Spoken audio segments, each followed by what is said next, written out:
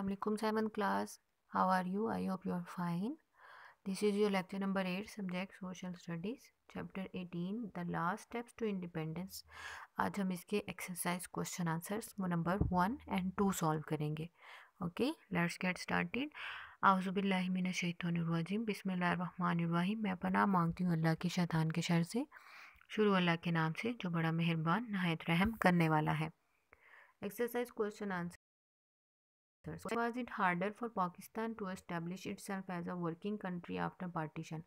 जब partition हुई India और पाकिस्तान बना तो पाकिस्तान के लिए क्यों बहुत मुश्किल हो गया था अपने आप को एक इस्टेब्लिश कंट्री बनाना It was harder for Pakistan to establish itself as a working country after partition because, as compared to India, it had less than its due share of everything at partition except problems.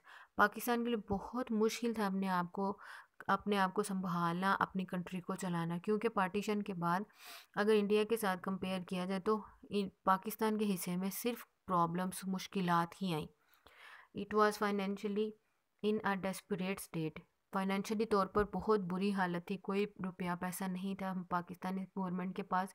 It had no administrative military industrial और professional infrastructure कोई administrative कोई military का, कोई industrial किसी किस्म का कोई infrastructure Pakistan के पास ना आया।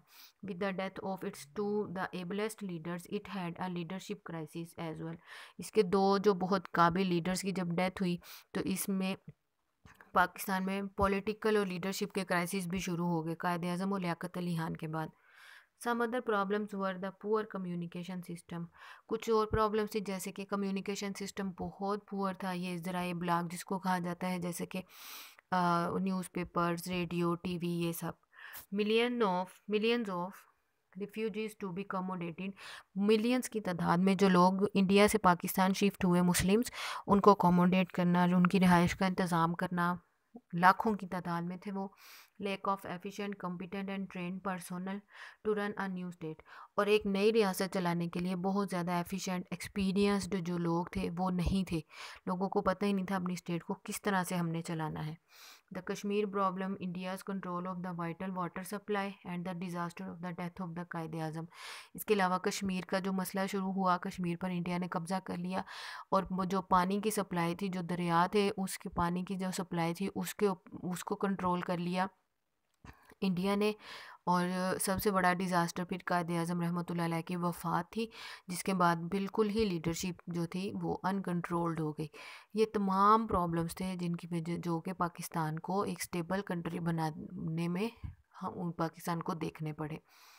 Question two how did the second world war effect the freedom movement in the subcontinent second world war जो थी, उसने फ्रीडम मूवमेंट जो थी, बड़े से में तहरीक आज़ादी, उसको कैसे इफ़ेक्ट किया? The sheer purpose of the second world war on the western countries loosened their grip on their colonies जो सेकेंड वर्ल्ड वार का जो इफ़ेक्ट हुआ, उसका पर्पस जो था वो वेस्टर्न कंट्रीज़ जो थी, उन्होंने लूज़ किया अपनी कलोनीज़ के ऊपर, अपनी ग्रिप को।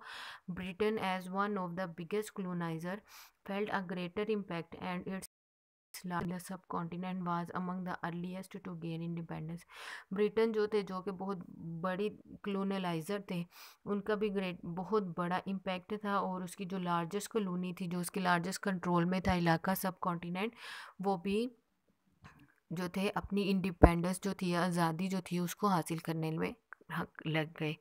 चूँकि क्वेश्चन नंबर वन बहुत लेंथी है देखें, यहाँ से इसका आंसर स्टार्ट हो रहा है और यहाँ कंप्लीट हो रहा है। क्वेश्चन वन लेंथ ही होने की वजह से मैंने आज आपको सिर्फ़ ये टू क्वेश्चंस करवाए हैं। आप इसको ताकि प्रॉपर लर्न कर सकें। Diary, do homework of given two questions on your register and learn. आपने इन टू क्वेश्चंस का अपने रजिस्टर पर होमवर्क करना है और इनको आपने प्रॉपरली लर्न भी करना है। Due to the lengthy question, answer of question number one I have given you only two questions today. Okay students take care. Best of luck. Allah hafiz